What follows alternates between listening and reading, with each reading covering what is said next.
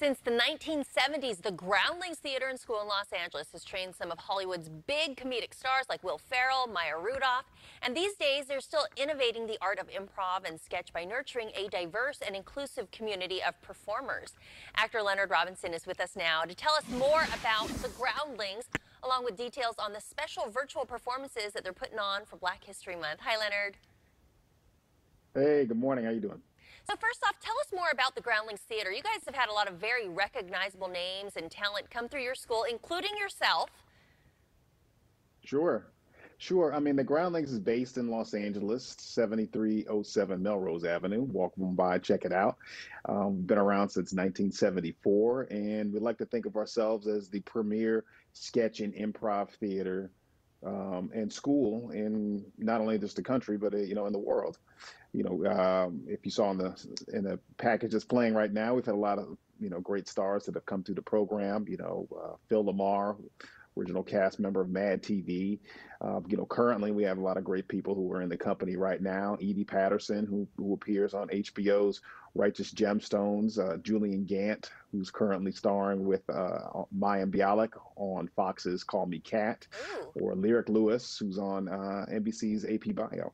Well, that's very cool. I mean, um, you know, we need some of this entertainment and, and, kind of these getaways and to see your creative juices working in that theater space. And yeah. then this month, for Black History Month, you guys are really using this opportunity to make it a teachable moment. Can you tell us more? Yeah, well, I think the great thing about what the Groundlings, uh, how we operate, is we operate as a company and we make our decisions. Know, the company members make the artistic decisions.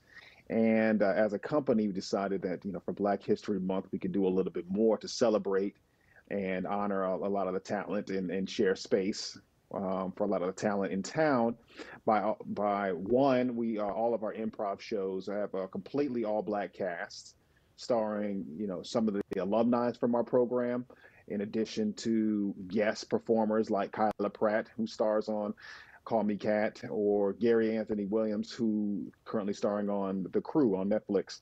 And so that's been that's been great, and it's never been done actually before at our theater. And also we have other bonus programs and um, and panels. That was a that was a clip of the panels uh, with the seven black uh, groundlings who's uh who made the, the main company.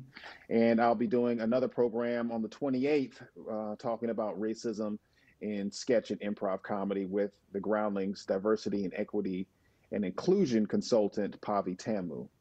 Oh and also on the 28th we have a, a partnership a performance with the amazing grace conservatory theater which is going to be great.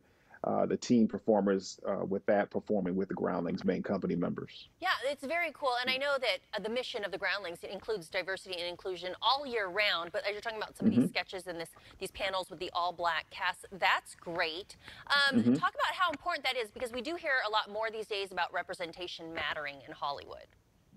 Mm-hmm. Yeah, I think you know, uh, you know, especially over the last couple of years, the Groundlings has, has, done a great job of about trying to reach out and be more inclusive and to, you know, bring some performers, uh, you know, of all colors to the stage that that normally wouldn't be seen.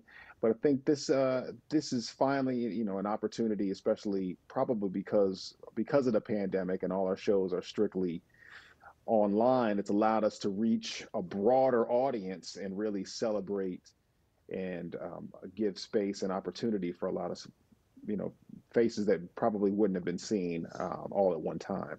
Yeah, I love that. I love that diversity and inclusion piece. And that's a good side effect of the pandemic. Now, if someone wants to train with the groundlings, how can they do that from a distance?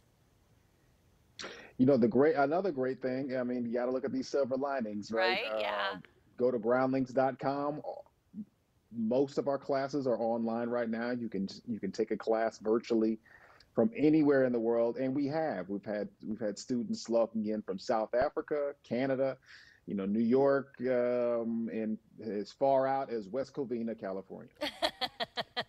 All right, very good, Leonard. Well, thank you so much for sharing about your programming this month with the Groundlings and a little bit more about the history there. If you want to learn more about the school and details on some of those virtual performances, you can visit groundlings.com.